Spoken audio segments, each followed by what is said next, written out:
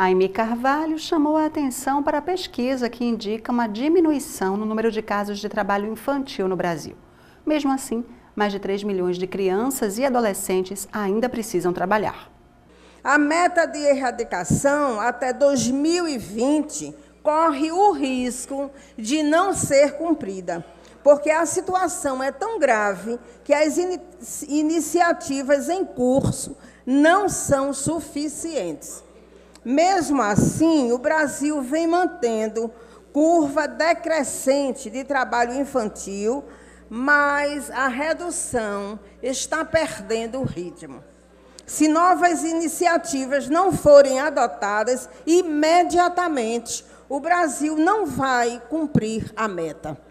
Apesar da proibição prevista pelo Estatuto da Criança e do Adolescente, ainda existem 3,4 milhões de crianças trabalhando no país. E o programa Menor Aprendiz autoriza o trabalho a partir dos 14 anos em empresas de médio e grande porte, de acordo com a consolidação das leis do trabalho. O maior foco do trabalho infantil é na economia doméstica, ou seja, crianças que trabalham para completar a renda da casa. A reversão do quadro depende da intensificação de esforços entre setores como educação, assistência social e geração de emprego. Não basta, portanto, coibir o ingresso precoce da criança no mercado de trabalho, é preciso estimular os adultos profissionalmente para que não precisem da renda trazida pela criança. A educação é a estratégia mais importante, porque as crianças estão em uma faixa etária em que a escolarização é obrigatória. O importante é que os adultos da família também sejam apoiados no sentido da qualificação profissional e inclusão produtiva, para que cumpram o papel de prover as crianças e não o inverso.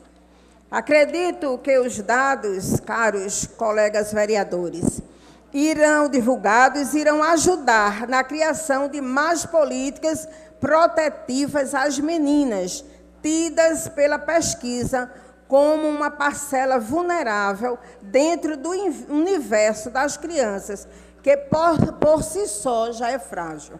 O estudo irá contribuir para que as várias comissões intersetoriais produzam mais ações e políticas de proteção e promoção dos direitos das meninas. Michele Collins apresentou um projeto que quer tornar obrigatória a realização do Dia dos Pais e do Dia das Mães nas escolas públicas e privadas do Recife. Muitas vezes o Dia dos Pais e o Dia das Mães tem sido um dia em que a fraternidade e o carinho tem sido aflorado através do relacionamento entre pais e filhos.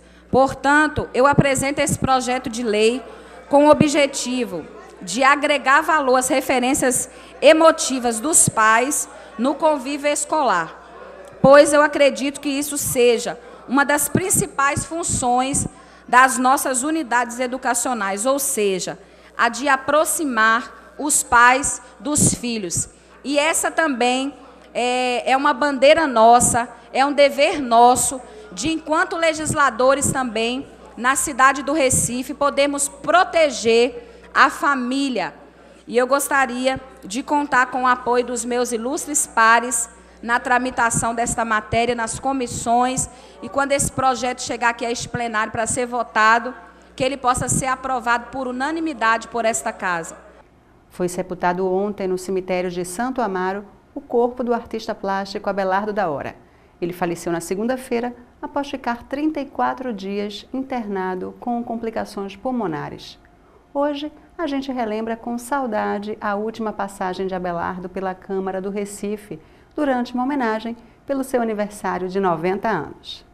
O escultor Abelardo da Hora foi vítima de edema pulmonar após passar 34 dias internado com problemas respiratórios. A perda foi lembrada nesta terça-feira com um minuto de silêncio no plenário da casa de José Mariano. Em agosto deste ano, a Câmara do Recife, por iniciativa do vereador Almir Fernando, realizou uma reunião solene para entrega ao artista da mais alta comenda do Legislativo Municipal, a Medalha do Mérito José Mariano, como parte das comemorações dos 90 anos de Abelardo da Hora.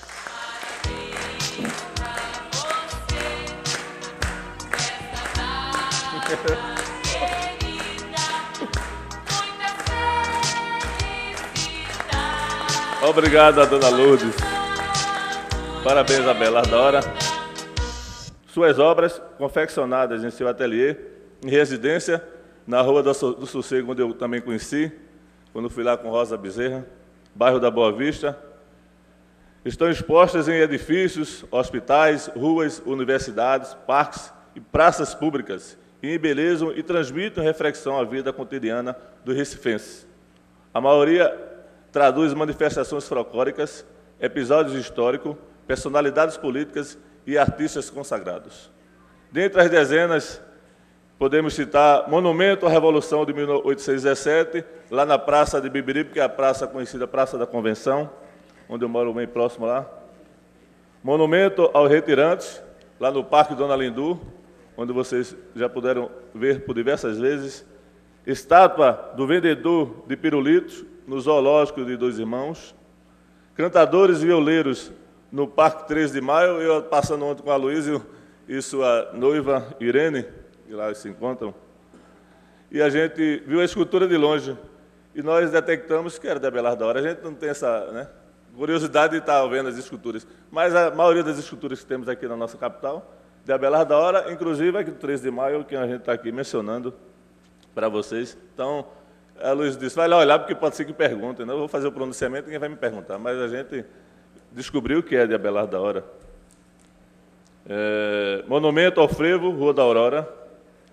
A escultura mais recente, o artilheiro, foi criada na quinta-feira, dia 31 de julho, dia do seu aniversário, e foi né, inaugurada lá na Arena Pernambuco, em São Lourenço da Mata, coincidentemente, como eu mencionei aqui, a sua terra natal, São Lourenço.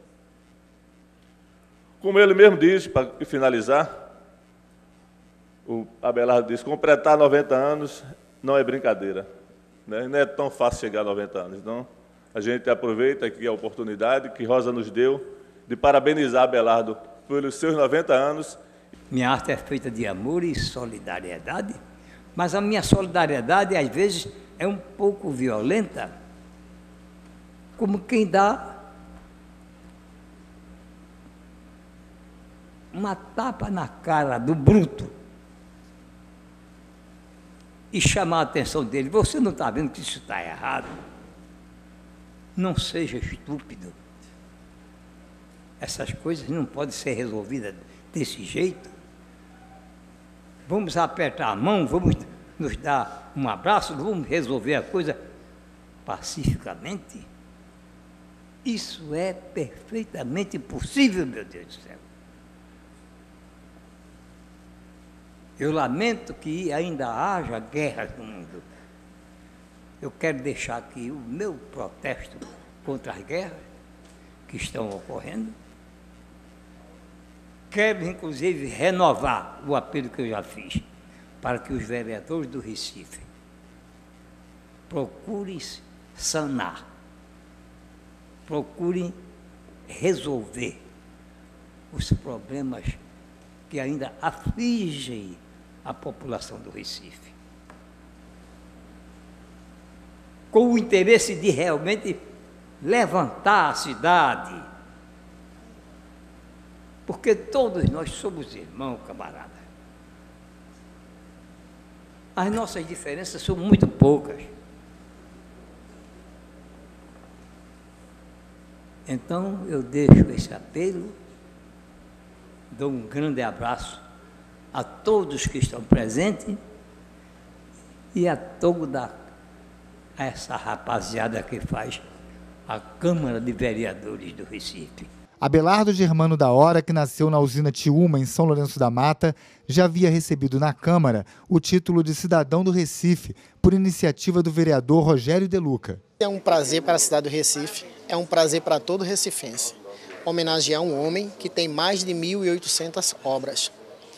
Obras estas não só difundidas na cidade do Recife, como no território nacional e também no exterior. Então, é, Abelar da Hora, ele leva o nome de Recife para o exterior e para todo o Brasil. E nada mais justo para que é, do Recifense dar essa justa homenagem a esse nobre professor de belas artes que é Abelar da Hora. Escultor, pintor, ceramista, gravador e desenhista, Abelardo da Hora também se dedicou à luta pela democracia e pela liberdade de expressão. Parte de suas esculturas refletem essa preocupação política e social. O presidente da Comissão de Educação da Câmara, vereador André Regis, falou sobre a perda que a morte de Abelardo da Hora representa para a cultura no país. Perdemos um grande artista, um exemplo de vida, um profissional dedicado, reconhecido internacionalmente, um mestre.